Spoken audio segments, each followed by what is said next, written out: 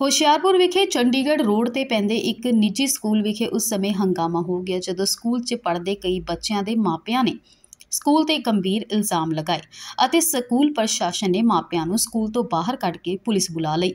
ਇਸ ਸੰਬੰਧੀ ਗੱਲਬਾਤ ਕਰਦੇ ਹੋਏ ਬੱਚਿਆਂ ਦੇ ਮਾਪਿਆਂ ਨੇ ਦੱਸਿਆ ਕਿ ਉਹਨਾਂ ਦੇ ਬੱਚਿਆਂ ਦੇ ਸਰਟੀਫਿਕੇਟਾਂ ਤੇ ਸਕੂਲ ਪ੍ਰਸ਼ਾਸਨ ਵੱਲੋਂ ਡਿਨੇਟਰ ਲਿਖ ਦਿੱਤਾ ਗਿਆ ਹੈ, ਜਿਸ ਕਾਰਨ ਉਹਨਾਂ ਦੇ ਬੱਚਿਆਂ ਨੂੰ ਕਿਸੇ ਵੀ ਸਕੂਲ 'ਚ ਦਾਖਲਾ ਨਹੀਂ ਮਿਲੇਗਾ।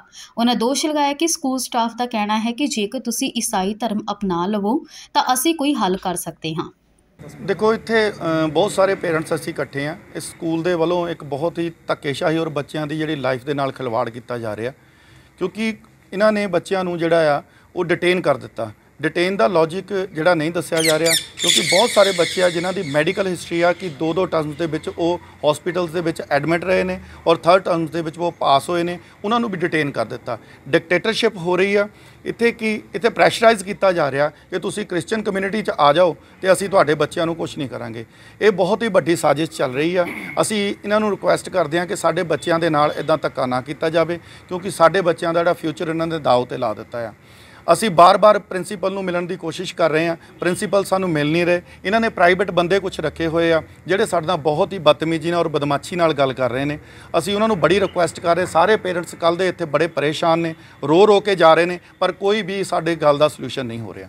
ਹਾਂਜੀ, ਅਸੀਂ ਡੀਸੀ ਸਾਹਿਬ ਨੂੰ ਕਾਲ ਕਰ, ਕੀਤੀ ਆ ਜੀ। ਡੀਸੀ ਸਾਹਿਬ ਨੇ ਸਾਨੂੰ ਕਿਹਾ ਕਿ ਰਿਟਰਨ ਚ ਦੋ। ਅਸੀਂ ਇੱਕ ਐਪਲੀਕੇਸ਼ਨ ਜਿਹੜੀ ਆ, ਮਾਨਯੋਗ ਐਜੂਕੇਸ਼ਨ ਮਿਨਿਸਟਰ ਸਾਹਿਬ ਨੂੰ ਵੀ ਲਿਖੀ ਆ। ਉਹ ਵੀ ਆਪੇ ਉਹਨਾਂ ਨੂੰ ਦੇ ਰਹੇ ਆ। ਸੋ ਅਸੀਂ ਸਾਰੇ ਪ੍ਰਸ਼ਾਸਨ ਨੂੰ ਇਹੀ ਬੇਨਤੀ ਕਰਦੇ ਹਾਂ ਕਿ ਇਹ ਬੱਚਿਆਂ ਦੀ ਜਿਹੜੀ ਲਾਈਫ ਦੇ ਨਾਲ ਖਿਲਵਾੜ ਕਰ ਰਹੇ ਆ, ਇਹ ਸਕੂਲਾਂ ਤੇ ਥੋੜਾ ਜਿਹਾ ਕਸ- ਕਸ ਹੋਣੀ ਚਾਹੀਦੀ ਹੈ ਸਕੂਲ ਕਿਉਂਕਿ ਇਹਨਾਂ ਨੂੰ ਪੁੱਛਗਿੱਛ ਹੋਣੀ ਚਾਹੀਦੀ ਆ। ਇਹ ਕਹਿ ਰਹੇ ਕਿ ਅਸੀਂ ਇੰਡੀਅਨ ਕੌਮ, ਇੰਡੀਆ ਕਾਨੂੰਨ ਨੂੰ ਨਹੀਂ ਮੰਨਦੇ ਜਦ ਕਿ ਇੱਕ ਕੋਵਿਡ ਦੇ ਟਾਈਮ ਤੇ ਲਾਅ ਬਣਿਆ ਸੀ ਕਿ ਤੁਸੀਂ ਬੱਚੇ ਨੂੰ ਡਿਟੇਨ ਨਹੀਂ ਕਰ ਸਕਦੇ ਆ।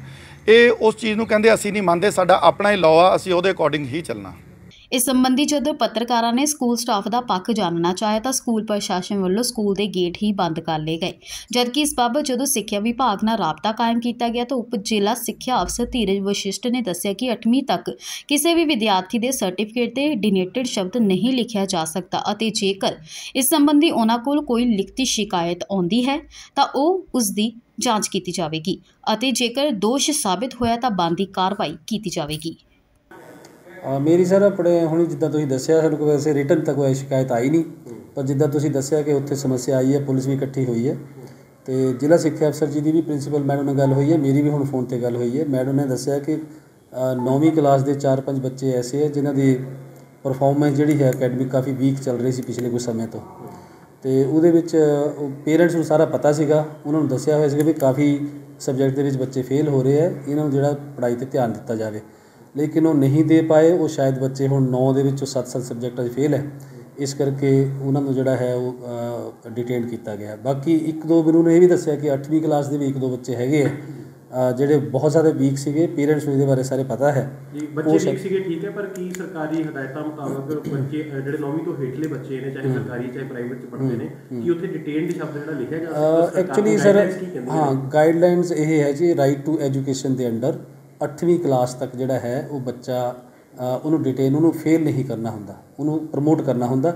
ਹਾਂ ਉਹ ਇਹ ਗੱਲ ਜ਼ਰੂਰ ਹੈ ਕਿ ਜੇ ਬੱਚੇ ਦੇ ਨੰਬਰ ਘੱਟ ਆਏ ਹੈ ਤਾਂ ਉਹਨੂੰ ਦੁਬਾਰਾ ਮੌਕਾ ਦੇ ਕੇ ਦੁਬਾਰਾ ਫਿਰ ਮੌਕਾ ਦੇ ਕੇ ਇੱਕ ਦੁਬਾਰਾ ਉਹਨੂੰ ਮਤਲਬ ਟਾਈਮ ਤੱਕ ਜਦੋਂ ਤਿਆਰੀ ਕਰ ਲਵੇ। ਲਿਖਿਆ ਜਾ ਸਕਦਾ। ਹਾਂ ਉਹਨੂੰ ਮਤਲਬ ਫੇਲ ਨਹੀਂ ਕੀਤਾ ਜਾ ਸਕਦਾ। ਉਸ ਕਲਾਸ ਫੇਲ ਨਹੀਂ ਕੀਤਾ ਜਾ ਸਕਦਾ ਪਾਸ ਕਰਨਾ ਹੁੰਦਾ ਰੋਕਿਆ ਜ਼ਰੂਰ ਜਾ ਸਕਦਾ ਕੁਝ ਸਮੇਂ ਲਈ ਤਾਂ ਕਿ ਬੱਚਾ ਦੁਬਾਰਾ ਤਿਆਰੀ ਕਰਕੇ ਜਿਹੜਾ ਹੈ ਪੇਪਰ ਦੇ ਸਕੇ। ਫਿਰ ਹਾਂ ਪ੍ਰਾਪਤ ਇਦਾਂ ਸਰ ਕਿ ਜਿੱਦਾਂ ਸਾਡੇ ਕੋਲ ਕੋਈ ਰਿਟਰਨ ਸ਼ਿਕਾਇਤ ਆਏਗੀ ਵੈਸੇ ਤਾਂ ਚਲੋ ਔਰ ਓਰਲੀ ਜਿੱਦਾਂ ਤੁਸੀਂ ਕਿਹਾ ਹੀ ਪੁੱਛਣ ਦੀ ਕੋਸ਼ਿਸ਼ ਕੀਤੀ ਹੈ ਹੋਰ ਪੜਤਾਲ ਕਰਾਵਾਂਗੇ ਲੇਕਿਨ ਜੇ ਕੋਈ ਰਿਟਰਨ ਸ਼ਿਕਾਇਤ ਆਉਂਦੀ ਹੈ ਤਾਂ ਅਸੀਂ ਬਕਾਇਦਾ ਆਪਣੇ ਕਿਸੇ ਪ੍ਰਿੰਸੀਪਲ ਦੀ ਜਾਂ ਕਿਸੇ ਅਧਿਕਾਰੀ ਦੀ ਡਿਊਟੀ ਲਗਾਵਾਂਗੇ ਉਹ ਜਾ ਕੇ ਸਕੂਲ ਪੂਰੀ ਪੜਤਾਲ ਕਰਨਗੇ। ਜੇ ਉਹਨਾਂ ਨੇ ਕੁਝ ਗਲਤ ਕੀਤਾ ਹੈ ਤਾਂ ਇਸ ਸੰਬੰਧੀ ਜ਼ਰੂਰ ਕਾਰਵਾਈ ਮਾਪੇ ਨੇ ਵੀ